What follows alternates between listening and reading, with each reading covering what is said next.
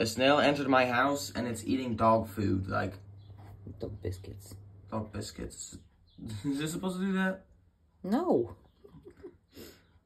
T type in the comments what kind of snail eats dog food.